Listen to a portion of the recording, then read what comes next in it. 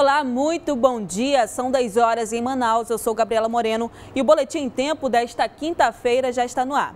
Olha só, há mais de duas semanas em greve, educadores do Estado se reuniram ainda há pouco com a Procuradoria-Geral de Justiça do Ministério Público Estadual para pedir apoio às reivindicações ao governo. Em nota, o MP informou que não pode garantir os direitos dos salários, mas que pode pressionar o Estado para que as aulas não parem por muito tempo e que sejam repostas de alguma maneira para que os alunos não sejam prejudicados.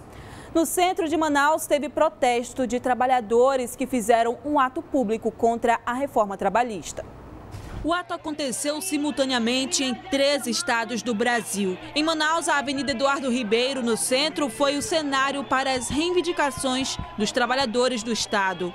Em protesto, eles pediam por segurança dos direitos trabalhistas, novas vagas de emprego e manutenção da aposentadoria. Ela também acaba com a seguridade social. O que, que é isso? Né? Com as licenças, com a licença maternidade, porque tira da Constituição, ela desconstitucionaliza isso. O movimento também apoiou a greve dos professores do Estado, que até o momento não entraram em acordo com o governo. A luta dos professores continua, a greve continua, os trabalhadores da educação ainda aguardam uma contraproposta por parte do governo, que ainda não houve. Jovens da União Brasileira de Estudantes também participaram do ato. Hoje o Brasil passa por uma crise onde não tem emprego para todo mundo, espe especialmente o estado do Amazonas. A Zona Franca de Manaus perdeu quase 75% dos postos de trabalho, então a gente entende que isso é prejudicial para o nosso povo e para nós que vamos sair agora da universidade, da escola e vamos ter que entrar no mercado de trabalho. O novo ato está previsto para o dia 15 de maio.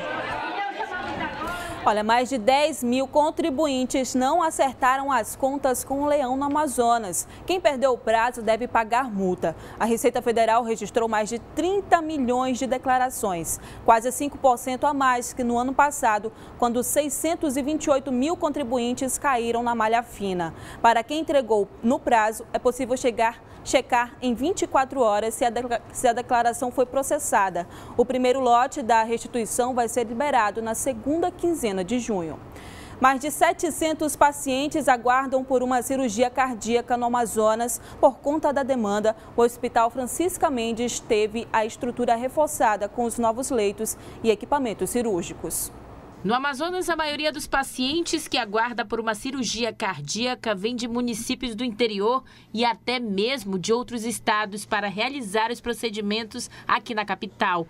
Quem depende desse tratamento sabe que não é fácil. Por conta da alta demanda no Hospital Francisca Mendes, a estrutura para atendimento a esses pacientes foi reforçada. A sala cirúrgica recebeu novos equipamentos e oito novos leitos de UTIs pós-cirúrgico. A meta é diminuir a fila de espera. O Francisca Mendes antes estava realizando 28 procedimentos cirúrgicos por mês. Nós vamos realizar a partir de agora 56. E a nossa tendência é que esse número aumente para que a gente possa diminuir a fila ao máximo. No Amazonas, 721 pessoas aguardam na fila por cirurgias cardíacas, sendo 253 crianças e 468 adultos. Segundo o governo do estado, esse número cresceu porque o hospital perdeu os leitos e teve as salas desativadas. O nosso objetivo é fazer com que, até o final do ano, nós realizemos 400 procedimentos cirúrgicos, levando em consideração que nós temos uma demanda muito grande, não só das pessoas que moram no estado do Amazonas, mas de pacientes que também vêm de outros estados, como Acre, Rondônia, Roraima e agora também a questão dos imigrantes. A seguir, fiéis católicos participaram da tradicional procissão em homenagem a São José Operário, padroeiro do trabalhador.